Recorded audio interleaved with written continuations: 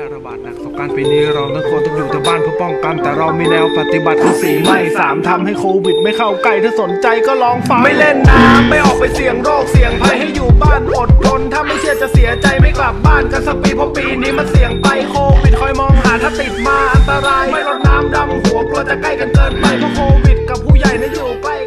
มาแรปๆแบบนี้ค่ะเข้ากับยุคกับสมัยนะครับ ยุคโควิด -19 แบบนี้นี่เพลง4ไม่สามทำครับร้องโดยศิลปินวง MPL จัดทำโดยกระทรวงวัฒนธรรม ร่วมกับหน่วยงานที่เกี่ยวข้องครับ โดยมีเนื้อหาพูดถึง 4 ข้อที่ไม่ควรทำแล้วก็ 3 ข้อที่ควรทำในช่วงเทศกาลสงกรานต์เพื่อที่จะลดการแพร่ระบาดของเชื้อโควิด -19 เพลงนี้มีเนื้อหาเข้าใจง่ายครับ ได้รับการตอบรับเป็นอย่างดีในโลกออนไลน์นะครับคนแชร์กันเยอะเลย ชาวเน็ตหลายท่านเนี่ยบอกว่ายินดีทำตามคำแนะนำเพื่อให้เราทุกคนเนี่ยห่างไกลจากไวรัสร้ายโควิด -19 นี้ครับ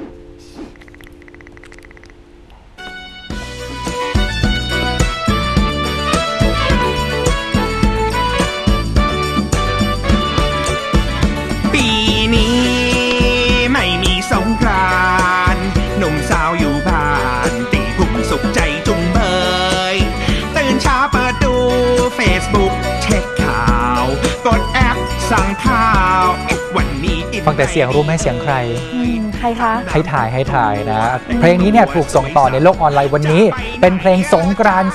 2020 ร้องโดยคุณ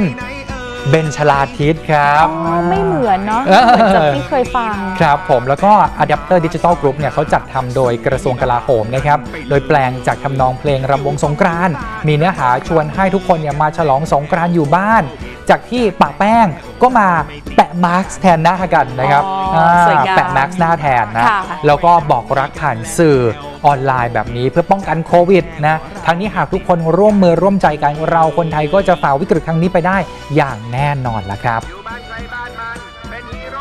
ไปต่อกันที่เพจ Facebook ของไทยคู่ฟ้ากันหน่อยนะครับ ก็โพสต์ภาพพร้อมกับข้อความระบุว่า สงกรานต์ปีนี้ตัวห่างไกลหัวใจไม่ห่างกัน ขอให้ทุกคนเนี่ยปรับตัวเพื่อความปลอดภัย ลดความเสี่ยงต่อการแพร่กระจายเชื้อโควิด -19 ด้วยวิธีรดน้ำสงกรานต์ออนไลน์ ส่งน้ำขอพรพระที่บ้าน เว้นระยะห่าง สิ่งที่ควรงดเว้นก็คือ งดการเดินทางกลับภูมิลำเนา งดจัดงานในทุกพื้นที่ งดรดน้ำขอพรผู้ใหญ่ระยะใกล้นะครับ อันนี้เป็นแฟ้มภาพนะปีนี้ก็คงจะไม่เห็นแบบนี้หรอกนะครับปิดท้ายกันที่กลุ่มคนบันเทิงนะครับที่โพสต์ภาพสงกรานออนไลน์ มีทั้งนี่ครับคุณหน่อยบุษกรกับคุณธีรเดชนะครับครอบครัวน่ารักมากเลยนะครับแล้วก็คุณเบลล่ารานีนะครับคุณหญิงรัฐานักแสดงคนอื่นๆเนี่ยขณะที่ชาวเน็ตต่างส่งภาพอวยพรวันสงกรานต์ผ่านออนไลน์ เพื่อหลีกเลี่ยงการแพร่เชื้อโควิด -19 พร้อมแนะนำทุกคนว่าไม่ควร ออกนอกบ้าน แล้วก็เว้นระยะห่างทางสังคม เพื่อให้ห่างไกลโรคนั่นเองนะครับ หลายท่านวันนี้อะเห็นไปขุดรูปสงกรานต์ตั้งแต่ปีไหนก็ไม่รู้ค่ะมาแชร์กันเนอะทำให้คิดถึงบรรยากาศเก่าๆนั่นเองนะแต่ก็ให้ความร่วมมือเป็นอย่างดีปีนี้ก็ออนไลน์กันไปก่อนละกันอืมสงกรานต์ปีนี้นะคะ เราก็ต้องมีการปรับเปลี่ยนพฤติกรรมกันหน่อยนะคะ เพื่อที่จะยับยั้งเชื้อโควิด -19 ให้มันหมดไปจากประเทศไทยอืมโดยเร็วที่สุดนะคะ ซึ่งทางโฆษกสบคค่ะ ก็มีการแถลง เน้นย้ำถึงแนวปฏิบัติสำหรับเทศกาลสงกรานต์ปีนี้ด้วยค่ะ เมื่อวานนี้นะคะนายแพทย์ทวีสินวิษณุโยธินโฆษกศูนย์บริหารสถานการณ์โควิด -19 หรือสบค ได้ย้ำถึงแนวปฏิบัติในช่วงเทศกาลสงกรานต์ระหว่างการแถลงสถานการณ์โควิด -19 โดยระบุบอกว่าตามที่ได้ประกาศงดกิจกรรมต่างๆ ในวันสงกรานต์ทั่วประเทศ เพื่อป้องกันการแพร่ระบาดของเชื้อโควิด -19 ดังนั้นปีนี้เนี่ยขอให้ทุกคนค่ะสรงน้ำพระพุทธรูปอยู่ที่บ้าน แสดงความกตัญญูขอพร เว้นระยะห่าง 1-2 เมตร และต้องสวมหน้ากากอนามัยด้วย ส่วนคนที่อยู่ห่างไกลก็ใช้วิธีการแสดงความรักผ่านทางช่องทางออนไลน์นะคะ ไม่ว่าจะเป็นเล่นน้ำสาดน้ำออนไลน์อวยพรออนไลน์พูดคุยผ่านวิดีโอคอนเฟอเรนซ์ซึ่งเราก็เห็นหน้ากันอืมคุยกันผ่านทางออนไลน์ก็ได้เนี่ยนะคะครับส่วนการเล่นน้ำสงกรานต์บอกว่าขอให้งดไปเลยจะดีกว่านะคะ เพราะแม้ว่าจะเล่นน้ำสัตว์น้ำกันภายในบ้าน ก็ถือว่ามีความผิด พรกฉุกเฉินอืมเนี่ยนะคะที่ขึ้นอยู่ตามหน้าจอขณะนี้ข้อห้ามสงกรานต์มีอะไรบ้าง ห้ามเล่นน้ำห้ามดื่มสุรา งดการรดน้ำขอพรผู้ใหญ่ ให้อยู่ระยะห่างกัน 1-2 เมตร งดเดินทางกลับภูมิลำเนาด้วยนะคะ รวมถึงร่วมพิธีกรรมต่างๆ ก็งดเข้าร่วมกิจกรรมที่มีการรวมตัวกันเป็นจำนวนมาก เพราะว่าช่วงนี้ก็เป็นพรกฉุกเฉินอยู่ด้วยนะคะ ครับผม มาดูบรรยากาศการทำบุญตักบาตรเนื่องในเทศกาลวันสงกรานต์ทั่วไทยกันหน่อยนะครับต้องบอกว่าในช่วงนี้บรรยากาศเงียบเหงานะครับเพราะว่าหลายคนเนี่ยก็ไม่ออกจากบ้านนะครับแล้วก็ได้ให้ความร่วมมือกับทางราชการนั่นเองนะครับไม่เดินทางไกลกันนะครับแล้วก็ดีมากนะแต่ขณะเดียวกันก็ทำให้บรรยากาศมันเงียบเหงาอย่างที่จะเห็นเนี่ยแหละครับคุณผู้ชมครับ บรรยากาศย่านการค้าวัชิรา ถนนทะเลหลวงอำเภอเมืองจังหวัดสงขลานะครับ ก็มีพุทธศาสนิกชนออกมาทำบุญตักบาตรพระสงฆ์เพื่อความเป็นสิริมงคลแก่ตัวเองและครอบครัว เนื่องในวันสงกรานต์หรือว่าวันขึ้นปีใหม่ไทยท่ามกลางการแพร่ระบาดของเชื้อโควิด -19 ที่เป็นความกังวลใจกันอยู่ณณปัจจุบันนี้นะครับ และเพื่ออนุรักษ์วัฒนธรรมประเพณีอันดีงามของไทยให้คงอยู่สืบไป บางท่านเนี่ยก็นำอาหารข้าวหวานนะครับ ข้าวสารอาหารแห้งมาใส่บาตรพระสงฆ์สามเณรแต่ปีนี้ต้องบอกเลยว่าจำนวนประชาชนที่มาทำบุญเนี่ยน้อยลงกว่าทุกปีที่ผ่านมาอย่างเห็นได้ชัด แต่ก็ยังมีพระสงฆ์ออกมาเดินรับบิณฑบาตตามปกติครับ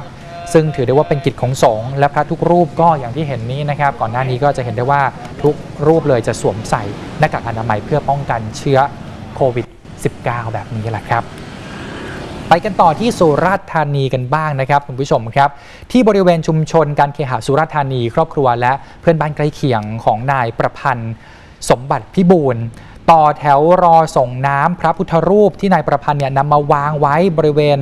หน้าบ้านนะครับช่วงเช้าแบบนี้เนี่ยซึ่งตรงกับวันขึ้นปีใหม่ไทยหรือว่าสงกรานต์แต่จากสถานการณ์โควิด -19 ก็ทำให้ทุกกิจกรรมสังสรรค์ รื่นเริง เล่นน้ำตักบาตร